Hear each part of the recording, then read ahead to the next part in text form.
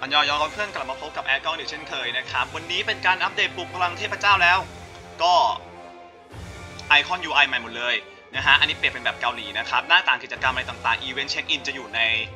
ในส่วนอีเวนต์ที่อยู่ด้านขวาบนนะฮะ กิจกรรมโคอี้ยังมีต่อนะครับ วงล้อเสี่ยงโชค กิจกรรมสัปดาห์นี้สามารถเช็คได้ในปุ่มนี้นะครับ มันจะมีกิจกรรมของเดโลนด้วยสองสัปดาห์นะครับเออรางวัลสุดท้ายเนี่ยจะเป็นอัศวินปลุกพลังเลยว่า 50บวก10ใบเลือกเลยนะท่านผู้ชมดังนั้นเนี่ยอย่าลืมนะไปเล่นกันนะครับเพราะว่าได้ แจกขนาดนี้นี่คือสุดยอดนะฮะบอกเลย อะต่อไป เอ่อจัมปิ้งยังอยู่ต่อเหมือนเดิมนะท่านผู้ชม ใครยังล็อกอินไม่ครบเนี่ยก็เก็บได้จนครบนะ ใครมาทันวันแรกก็ยาวๆ แล้วมีล็อกอินฉลองปลุกพลังเทพเจ้าซ้อนมาอีกนะครับ แจกไอ้50บบวก10อีก 2 ตัวนะฮะ ซึ่งมันเลือกได้ทุกตัวเลยนะครับ ทาราก็มีนะ มู่หลานก็มี ทาราก็มี ดังนั้นอย่ามีตัวละครค่อนข้างจะครบแล้วนะครับ ขาดเพียงเจ้าเอ่อลีไปตัวเดียวที่ยังไม่มีมาให้เลือก นะฮะที่เหลือเนี่ยเลือกได้ทุกตัวใครยังไม่มีทาราหรือยังไม่ 50เนี่ยสามารถไปกดมาได้เลยนะหรือว่า 50 เลย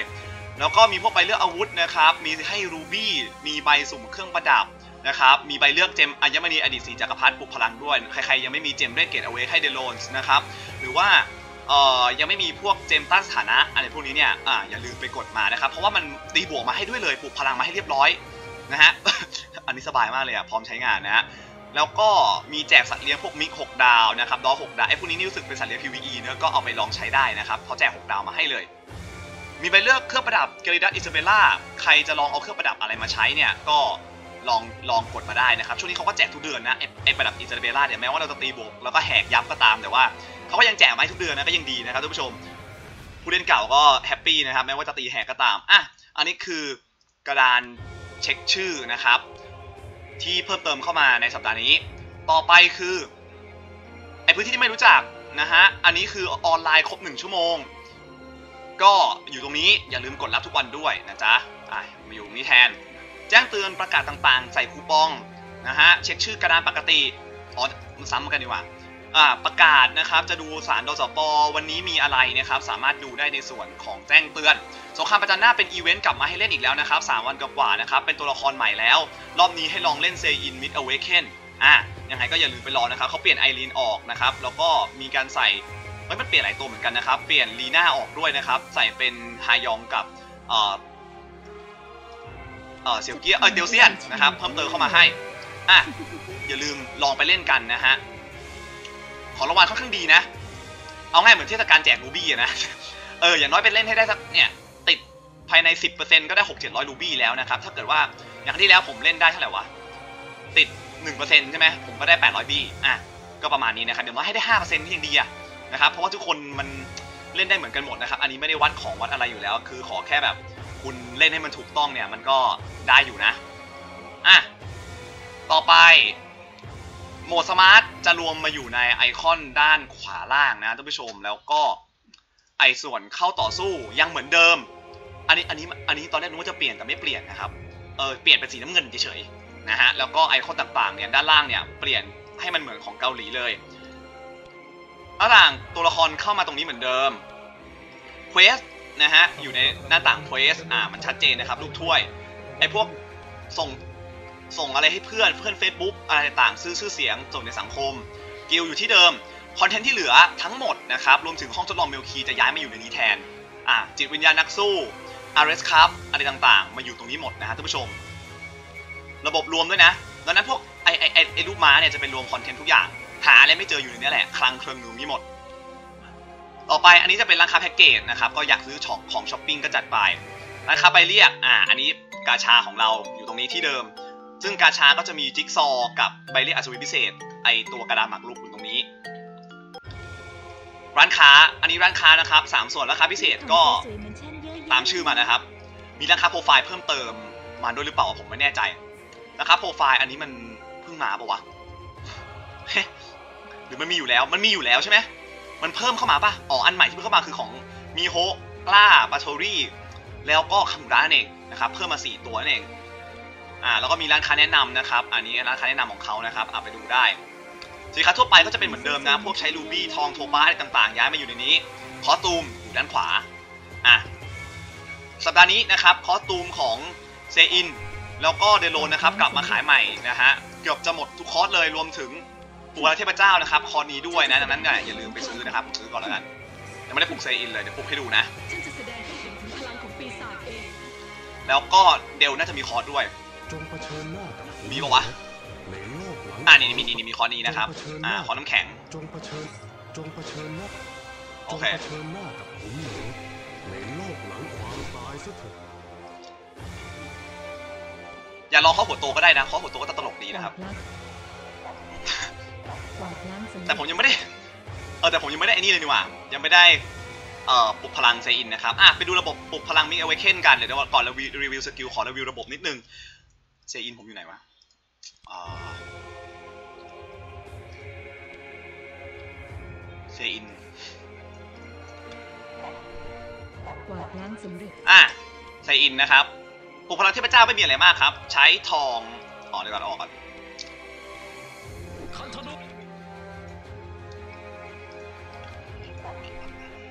ปลุกพลังเทพเจ้าไม่มีอะไรมากปลุกพลังเรียบร้อย 40บวก10นะท่านผู้ชมใช้ทอง3ล้านปลุกขึ้นขั้น 2 ได้เลย ก็คือต้อง 40 บวก 10 ขั้นแรกก่อนนะครับ แล้วก็เราสามารถใช้ทอง 3 ล้านแล้วก็ปลุกได้เลยกวาดล้างสำเร็จในโลเซอินเหมือนกันนะครับ แล้วก็เนื่องจากว่าเราไม่มีหิน mid awaken เขาก็เลยเอารูปหิน mid awaken ออกไปด้วยนะฮะ ก็เซิร์ฟเราก็จะไม่มีเนื้อเรื่องของไอตัวพลังหิน mid awaken อะไรต่างๆนะครับถูกปลดออกไปแล้วนะฉันจะแสดงให้เห็นสิ่งที่เพิ่มเข้ามาคืออย่างแรกคือ Mid Awaken จะทำให้มีผลโจมตีแบบพิเศษ มันจะเป็นการมันจะเป็นโอกาสโจมตีแล้วติด Special Attack เขาเรียก Special Attack นะครับ ซึ่งจะติดแล้วแสดงผลมากกว่าการโจมตีปกติ แสดงผลเมื่อโจมตีปกติ ติดสปีดหรือตอบโต้นะฮะอย่างเช่นไซอินจะเป็นโจมตีปกติ มีโอกาส 100%ที่ผลโจมตีจะทำงาน อันนี้เป็นตัวละครที่ติด Special Attack ตลอด 100%แน่นอน ซึ่งผลบล็อกจะไม่ปรับใช้กับการผลโจมตีนี้ก็คือ ตีแล้วยังไงก็ไม่ติดบล็อกแน่นอน สร้างความเสียหายทางกายภาพ 200%แก่เป้าหมาย แล้วก็บวกอีก 200%แบบไม่สนพลังป้องกันด้วย ก็คือเป็น 200 บวก 200%อะ อันนี้คือที่เพิ่มเข้ามา ต่อไป เอ่อ อัปเกรดเทพเจ้าคืออะไร อัปเกรดเทพเจ้าคือการตีบวกนะครับ ตีบวกได้ถึงบวก 10 ฮีโร่6ดาว ไม่ว่าจะเป็นหรือว่า40 อะไรก็แล้วแต่ทุกตัวละครนะครับ จะให้ 20%ไม่ว่าคุณจะบุกเป็นตัวละคร 40 หรือ 50 ก็ตาม มันจะได้แค่ 20%เท่ากัน รวมถึงตัวละครพิเศษด้วย ได้แค่ 20%ขอแค่มันเป็นตัวละคร 6 ดาว จะสามารถใช้ตีบวกปลุกพลังเทพเจ้าได้ บวกได้ถึง 10 เหมือนเดิมนะครับท่านผู้ชม อะ บวกได้ถึง 10 เหมือนเดิม ก็ใช้ทั้ง 6 ดาวทั้งหมด เออกี่ตัวหนึ่งสองสามสี่ห้าห้าห้าสิบตัวมั้ง อะประมาณ 50 ตัวนะฮะ เยอะอยู่เหมือนกัน ก็ค่อยๆทำไปไม่มีอะไรมากครับ คุณก็เปิดเกลือมาแล้วก็แล้วก็ผสมขึ้น 6 ดาวไปเรื่อยๆนะ หรือว่าจะเอาธาตุที่มันเหลือๆเนี่ย เอาตัวละครมันอัพขึ้น 6 ดาว แล้วก็เอามากินก็ได้ จริงๆแล้วน่าจะเป็นทางที่ง่ายกว่าคือใช้ธาตุที่มันเหลือๆนี่แหละนะ เพราะธาตุมันค่อนข้างเหลือนะฮะ อะ โอเค รู้สึกว่ามันจะธาตุมันจะมีธาตุลุงด้วยนะ ตอนนี้มันมีธาตุลุงด้วยนะครับ รู้สึกว่าจะ มันเอาไอ้นี่มารวมรวมพลังกันได้ปะวะการวิวัฒนาการเป็นสิ่งที่ดี มันอัปเกรดได้ไหม ไม่ได้นะมันมันรวมพลังไม่ได้ใช่ไหมแต่มันมีธาตุลุกอันใหม่มาให้เอาไว้ตีบวกไอตัวเทพเจ้าด้วยนะ แล้วก็อะไรอีกวะ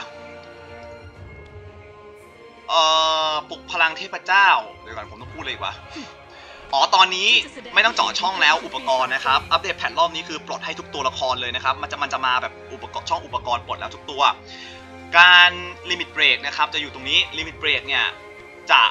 ไม่ใช้พีหน้าแล้ว อะ limit break ไม่ใช้พีหน้าอย่างเงี้ยผมปลดได้เลยนะฮะป้าง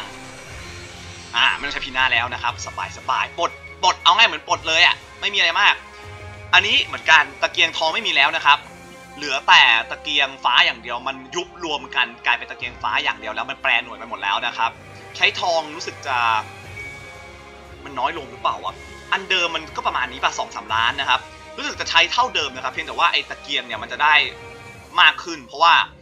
เอ่อมันเอาตะเกียงทองมาแปลเป็นตะเกียงฟ้าแล้วไม่ใช่ตะเกียงฟ้าอย่างเดียว มันก็เลยน่าจะสบายขึ้นนะท่านผู้ชมอะอันนี้คือเรื่องของการลิมิตเบรกมีเปลี่ยนอะไรอีกวะเดี๋ยวมันเยอะมันเยอะขอนึกแป๊บจะแสดงให้เห็นถึงพลังของปีศาจเองอันนี้ของรักอัพไปแล้วเนอะโอเคอัพไปเรียบร้อย หน้าต่างมันก็ไม่มีอะไรมากนะครับ มันจะมีในส่วนของสถิติอัศวินนี่มัน อ๋อ อันนี้มันเปลี่ยนเปลี่ยน UI ใหม่นะครับ แล้วก็มีบอกด้วยว่าเขาใช้เอ่ออะไรอะพวกstatus ไหนมากที่สุดนะครับ พวก limit break นะ แล้วเนี่ยผู้เล่นใหม่ที่เพิ่งมาเริ่มเล่นเนี่ยสามารถดูตรงนี้เป็น guideline ได้ ก็ยังไงลองกดดูแล้วกันนะครับ มันจะมีแนะนำพวกการใช้งานอุปกรณ์ต่างๆ ในตัวเกมด้วย มีอะไรอีกเอ่อต้องน่าจะเป็นเรื่องของ skill ของเซอินกับเดลอนส์แล้ว เรามาดูดีกว่านะครับว่า skill มันดีแค่ไหนทั้งสองตัวเลย ขอดูที่เดลอนส์ก่อนละกัน เดลอนส์เนี่ยมาดูดซับว่าความเสียหาย7 turn นะครับ7 turn นี้เนี่ยเดลอนส์เอาง่ายเรียกว่าเป็นอมตะฆ่ามันไม่ได้เลย ยกเว้นโดนสั่งตายนะฮะหรือว่าไอที่โจมตีเข้าคือแหวนลดเลือด1,000 ไอที่มันเป็น pure damage เลขสีม่วงอะตีเข้านอกนั้นนะครับไม่ว่าจะเป็นการโจมตีปกติทะลุ buff ทะลุ def หรือว่าจะเป็นทะลุทะลวงก็ตามโจมตีไม่เข้านะครับ buff นี้เหนือกว่าทะลุทะลวงนะดูดซับของเดลอนส์เหนือกว่าทะลุทะลวงทะลุทะลวงเจาะไม่ได้ถ้า7 turn นี้ยังไม่หมดอะ ต่อไปมีวอย7ครั้งมาด้วย เพิ่มต้านสถานะให้ตนเอง 50%แล้วก็ต้านตาประทับให้กับทั้งทีม ดังนั้นเนี่ยไอ้พวกมีตาประทับอย่างเช่นโคเคิร์ต่างๆเนี่ยจะไม่ได้ผลกับทั้งทีมเลยนะครับดูดซับความเสียหายอย่างที่บอกไปครับ ดูดซับการโจมตีที่ได้รับ และจะไม่ได้รับความเสียหายใดๆทั้งสิ้นนะครับ คล้ายๆโล่ปะทองครับ แต่ว่ากันทะลุทะลวงด้วย ต่อไป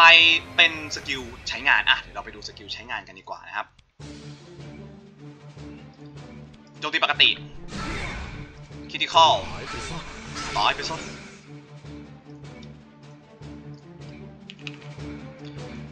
องเจ้าจบลงตรงนี้อะ Special Attack นะครับของเดโลนเนี่ยจะเป็นโจมตีปกติเนี่ยจะตีไม่ติดบล็อกแน่นอน แล้วก็แต่ว่าในอัตราที่กำหนดมันไม่บอกว่ากี่เปอร์เซ็นต์นะครับของเดโลนนี่ไม่ชัวร์เหมือนกันเท่าที่ผมลองมาเนี่ยประมาณ 30%โอกาสติดมันนะเหมือนใส่เครื่องประดับอะแล้วก็เวลามันติดเนี่ยมันจะสร้างความเสียหายทางกายภาพ 200%แก่เป้าหมายนั้น แล้วก็เพิ่มเติมอีก 120%โดยไม่สนพลังป้องกันของเป้าหมาย รวมถึงเร่ง turn หนึ่ง turn นะฮะ ชีวิตของเจ้าจบลงตรงนี้ skill ล่างนะครับจะเป็น 100% 1 1เป้า4 ครั้ง ทะลุทะลวงนะฮะ แล้วก็ลด buff เป็นครั้งจำนวน 3 ครั้ง ของศัตรูทั้งหมดนะครับ อันนี้ดีตรงที่ว่ามันลด buff เป็นครั้งทั้งทีมเลย ก็ยังดีนะ เอาง่ายเหมือนทะลุบอยชิลไปด้วยอะ่ะ แล้วก็ไอตัวที่เดโรนเจาะไข่เข้าไปอะ่ะ คือ โดน 3 เสร็จแล้วทะลุทะลวงเนี่ยเข้าไปเลย4ฮิตนะ อ่าโอเค แต่ข้อเสียคือ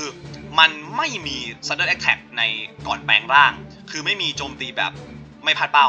ต้องพึ่งบัฟของหลีไปนิดหนึ่งนะฮะ อะ เพื่อเจาะไข่เพื่อไข่ทุกกีอื้อหือต่อไปสกิลบนครับ 80% 3 ครั้งคริ100%เร่งเทิร์นของเป้าหมายนาน 3 เทิร์น ก็คือ เร่งเทิร์นทั้งหมด 3 เทิร์นแล้วก็ติดใบได้ 2 เทิร์นนะครับ อันนี้เป็นครีร้อยด้วยนะสำหรับสกิล 5 เป้าของเดโรนแล้วก็มีใบกับเร่งเทิร์น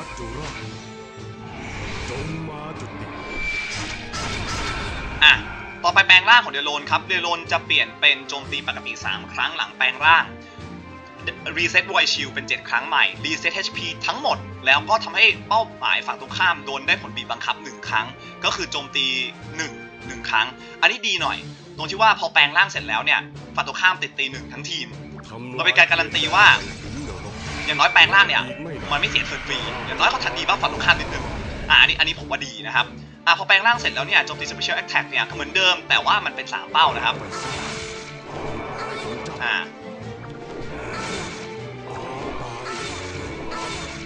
แลกคิวดิคอเปลี่ยนสีด้วยนะครับ มันจะกลายเป็นสีเหลืองทองทองๆแบบแบบใหม่อะ มันจะไม่ใช่แบบเดิมแล้วนะ สกิลล่างเปลี่ยนเป็น 100%แก่ศัตรู 3 ตัว 4 ครั้งหลังจากแปลงร่างนะครับ จากเป้าเดี่ยวเป็น 3 เป้า 300% 4 ครั้ง เอ้ย 100% 4 ครั้งเท่ากับ 400% 3 เป้าหมาย critical ร้อย Sudden Attack อันนี้ไม่พลาดเป้าแล้วนะครับตีแตกแน่นอนและทะลุทะลวงด้วย อันนี้สั่งตายเลยถ้าใครไม่มีเลือดเหลือหนึ่งบอกเลยว่าตายแน่นอนนะครับแล้วก็ลด buff เป็นครั้งศัตรูทั้งหมด 3 ครั้งด้วยกันสกิลที่ดีมากๆกลายเป็นสกิลแบบโคตรเทพเลยเขาแปลงร่างเสร็จนะ อ่าส่วนสกิลบนนะครับ 80% 3 ครั้งเหมือนเดิม crit ร้อยเหมือนเดิมลด turn 3 turn เหมือนเดิมใบเหมือนเดิม แต่มีดูดเลือด 50%ของค่าความเสียหาย มีดูดเลือดเพิ่มเติมเข้ามานะครับในสกิลบน ดูแล้วเหมือนจะต้องใส่แหวน cap เลือดเนอะขั้นเต็ม แต่ดูทรงแล้วก็ไม่น่าจะรอดเพราะไม่มีว่องไวนะครับเดโลนเนี่ยนะอันนี้คือข้อเสียของมันนะครับ เดี๋ยวผมจะพูดให้ฟังนะอะเพราะว่าเดี๋ยวเราขอดูไออะไรวะไอในส่วนของ รณ์เฉพาะ อุปกรณ์เฉพาะเดโลนนะครับ ไอดูดซับความเสียหาย 7 turn เนี่ยมาพร้อมกับการอัปเกรดเลเวล40 นะลืมพูดไป ขั้น2เนี่ย42 จะบวกอัตราการตอบโต้ 30%และขั้น 3 เนี่ยทำให้เมื่อโจมตีไม่สนการจำกัดความเสียหายของ HP เป้าหมาย ก็คือทะลุ cap เลือดนะครับอะพอเขตแดนขุนนรกคือ อันนี้สกิลนี้นะครับ ก็คือแปลงร่างเสร็จแล้วเนี่ย ทำให้เดโลนเนี่ยโจมตีแบบทะลุ cap เลือดได้ อะโอเคไหมคือไม่สน cap เลือดเลย แต่ต้องอัปเกรด 44 ก่อนนานั้นเดโลนจำเป็นมากๆที่ต้องอัปเกรดเลเวล44 แต่ถามว่าตัวมันแรงจริงไหมจากที่ลองมาแรงมากๆ คือสกิลล่างเนี่ยนะครับ พอแปลงร่างเสร็จเนี่ย one shot เลย ถ้าไม่มีเลือดเหลือหนึ่งนี่คือผัวะเดียวตายหมดทุกตัว ในตัวเมตาสปีดตอนนี้นะฮะขนาดทีมถึกเนี่ย เจอสับทีเดียวยังหน้าแหกเลยนะครับ ทีมสปีดไม่ต้องพูดถึงนะครับ สับพัวเดียวหายไปเลย 3 ตัว พารานัสตายแน่นอน เอ่อ ตัวยอนฮีนี่ก็ตายเหมือนกันนะครับ เอ่อ แล้วก็ตัวละครอื่นๆ ไอ้พวกที่มันไม่มีเลือดเหลือหนึ่งอะตายหมดเลยนะรีปงรีไปนี่บึ้มเลยนะครับทีครั้งเดียวเท่านั้นแหละ แต่ข้อเสียของเดโลนมากๆเลยคือ กว่ามันจะได้แปลงร่างเนี่ยแม่งนาน คืออย่าลืมว่าเราต้องเก็บเกตเอาเวกแล้วรีบแปลงร่างใช่ไหมครับ แต่มันชีวิตจริงมันไม่ง่ายขนาดนั้นจากที่ผมไปรอมาเนี่ยเดโลนตีเปิดอกคือถ้าแบบโดนตีถ้าสองสกิลเนี่ย มันจะ อะไรนะ แปลงร่าง แต่อย่าลืมว่าตอนนี้เนี่ย meta เองเนี่ยมันมีรีไปอยู่ แล้วรีไปทุกคนเนี่ยแม่งใส่2จุดอ่อนเว้ย เออ แล้วก็ยังไงก็ต้องโดนสกิลรีไปสักทีนึงอะแล้วแม่งโดนกดเกตเอาเวกนี่คือนี่คือความพังเลย แล้วแบบพอโดนรีไปแม่งกดสกิลกดสกิล awake บางทีแม่งโดนยอนฮีโดนลินอีกตายซะเถอะกว่าจะได้แปลงร่างเนี่ยนะครับ บางทีล่อไป late game ซึ่งไปจนถึงตอนที่ตัวเองเนี่ยเสีย buff เจ็ด turn ไปแล้วเดโลนนะครับหมด buff เจ็ด turn คือตายเลยนะฮะ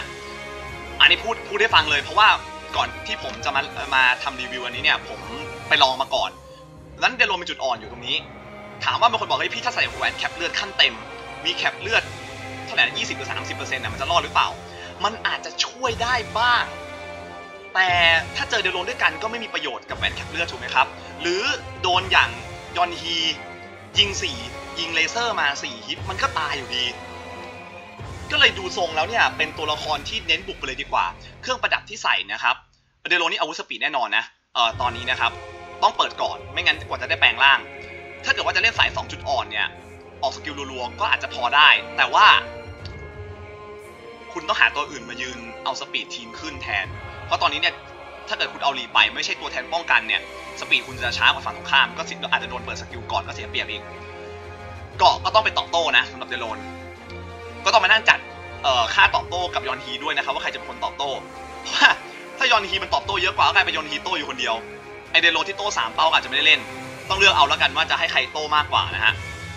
เอ่อตอนที่ผมใส่หลบกับตีสองครั้ง อันนี้ลองขำๆนะครับ มันไม่ค่อย work เท่าไหร่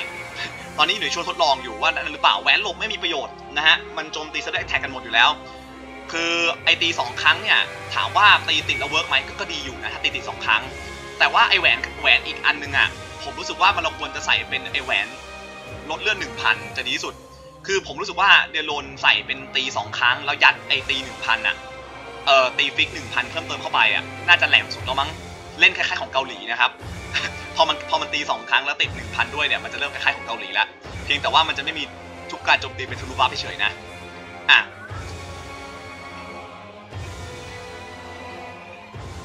ว่าไงลินแป๊บนึงนะครับ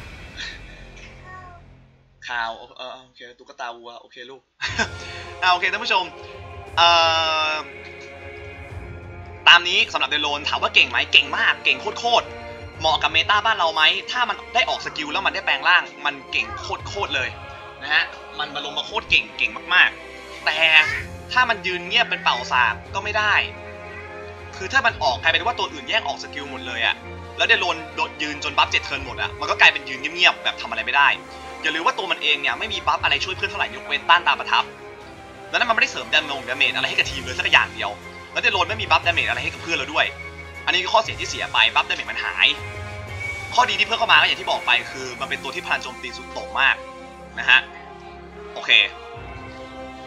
นี่คือเดโรนส์ต่อไปไปดูเซอินกันบ้างครับเเออเซอินเนี่ยจะบวก critical damage 200%มี cap เลือด 20%ลดแถบการเปิดใช้งาน skill ปลุกพลังตนเอง แล้วก็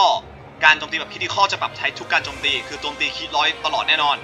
ทำให้ตนเองได้รับ buff ต้านทานปลิดชีพนะครับเอาไปใช้ใน map เออเห็นเขาบอกว่าใช้ใน map ริโป้ใช่ไหมครับ ที่มันเป็น dungeon guild ได้อะอันนี้ก็ดี ต่อไปคือโจมตี skill เดียวของเซอินนะครับ เป็น 500%เอ่อฮิตเดียวศัตรู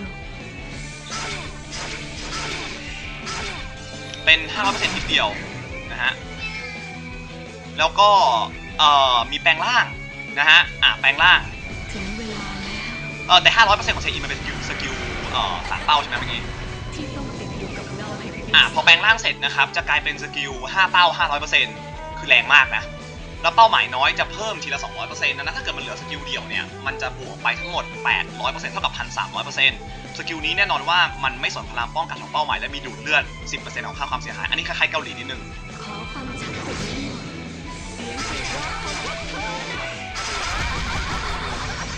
หัวเราะยังได้ใจเหมือนเดิมนะฮะ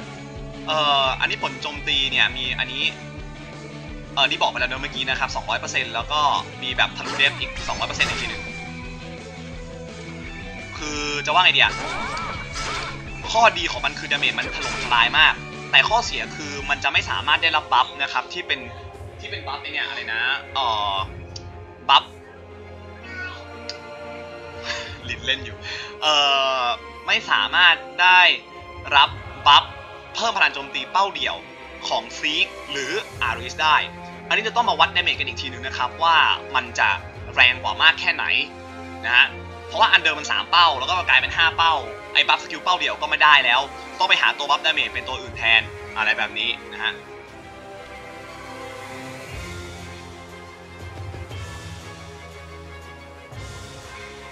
อ่านะครับก็